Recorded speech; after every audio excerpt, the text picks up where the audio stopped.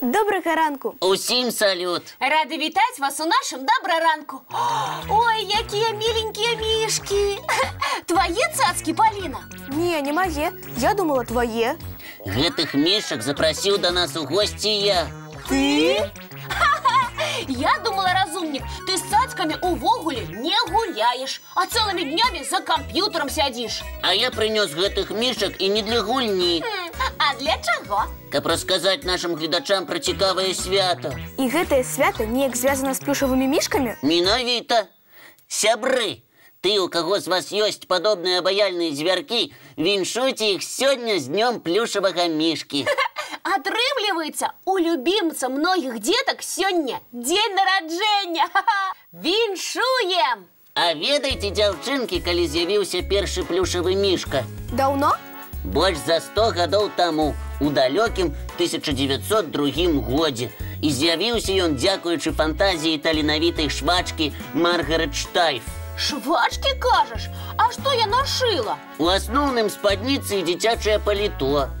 Цікава, як чалавеку, які шые звычайнае адзенне, прыйшла ў галаву ідэя зрабіць цацку. Ведаеш, Паліна, выпадкова. Аднойчы ў часопісе Маргарет убачыла выкрайку фігуркі слана і вырашыла пашыць 8 мяккіх слонікаў і гольніцу сваім атэлье. Усяго восем? Але гэта быў эксперымент. Маргарет не ведала, ці стануць людзі набываць цацкі. Менавіта.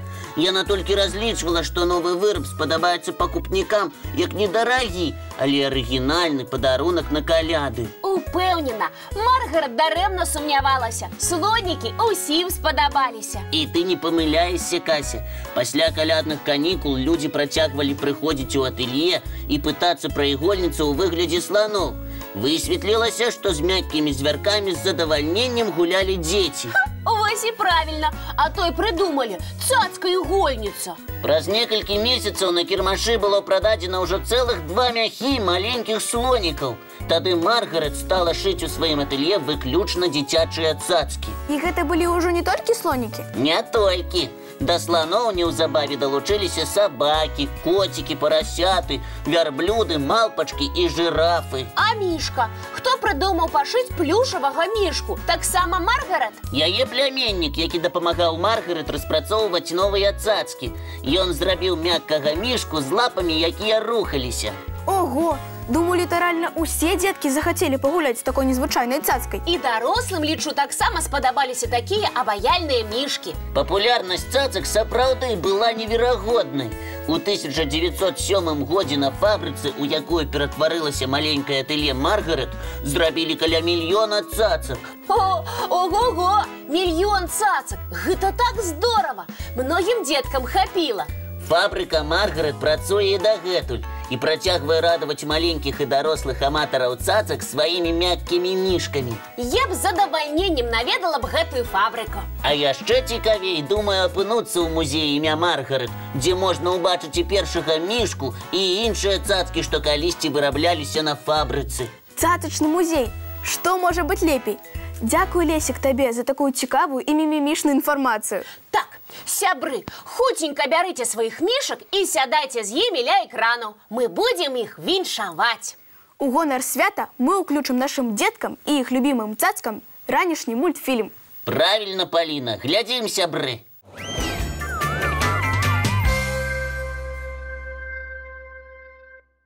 Сябры, яшчэ раз віншуем усіх з днём плюшавых мішак. Дзяўчынкі, я тут пашукаў, аказваецца, у свеце больш за 100 розных музеяў мішак. Ого! Мы б у добраранку маглі б некалькі месяцаў віртуальна падарожнічаць толькі па такіх музеях.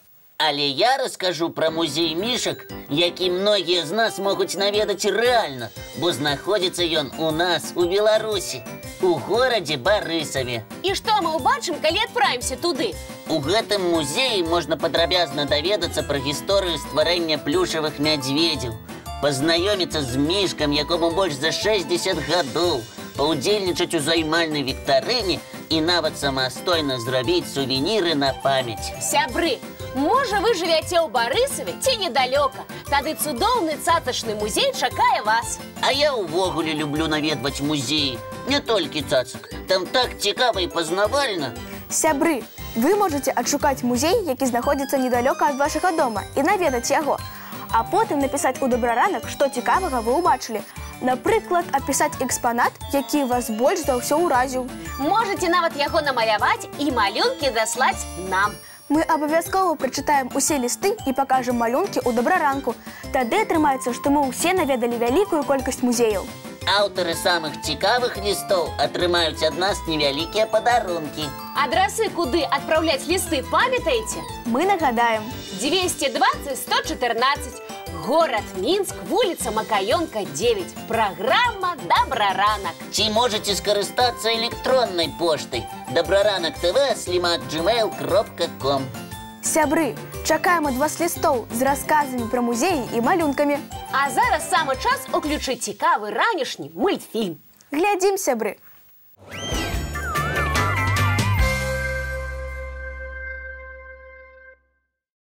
Вось гляджу я на плюшавых мішак і думаю, шкада, што сапраўдны мішка даволі вялікі. Гэта чаму? Таму разумнік, што я б абавязкова запрасіла яго да нас у госці, але мішку будзе нязручна ў нашым пакойчыку. Кася, няхай усе сапраўдныя мядзведзі жывуць у сваіх звыклых бярлогах. А, Лесік, ты такі правільны, што ж на сумна. Я не толькі правільны, я практычны. Мядзведзі у нас тут дакладна месца б не хапіла. Затое мы маглі б пасяліць тут дыназаўра. Дыназаўра? Разумнік, ты нічога не пераблытаў. Усе дыназаўры былі вялізныя, як наш дом. Аказваецца, усе ды не ўсе. У Аргентыне нядаўна адкрылі новы від зусім невялікага дыназаўра. Ого, як цікава, расказвай падрабязней.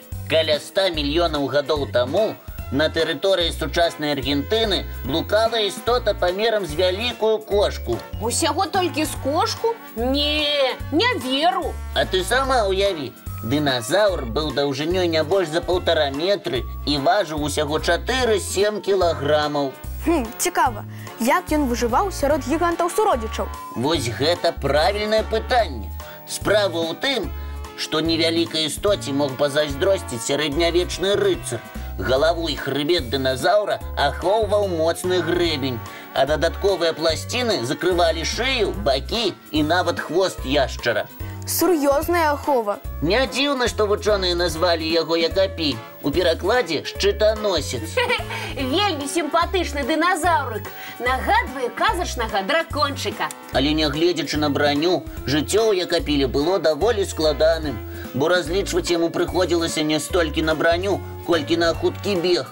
Думаю, бегаць маленькаму прыходзілася шмат ад каго. Правільна думаеш, Паліна. Якапель быў жыхаром старажытнай пустыні, у якой кішэлі драпежнікі ад звычайных змей да пражэрлівых буйных дыназаўраў. Ой, ну і жыццё, не пазайздросціш. Сапраўды, мяркуючы па лістападобных зубах, якапель сілкаваўся не мяккай лістотай, а даволі цвёрдай пустыннай расліннасцю. Вось яму і даводзілася шмат бегаць, каб знайсці дастаткова корму і не трапіцца на вочы драпежнікам. Лесік, ты правы. Я б з задавальненнем запрасіла ў госці такога дыназаўрыка. Ён бы ў мяне частаваўся не цвёрдымі раслінамі, а усялякімі прысмакамі. І мульцікі разам з табой глядзеў бы так? А чаму бы і не? Таму шкада, што дыназаўрыка ў нас няма. Давайте хоць самі мульцік паглядзім. І не проста мульцік, а пра турбазаўраў. О, гэта ж амаль дыназаўры. Давай уключай разумнік.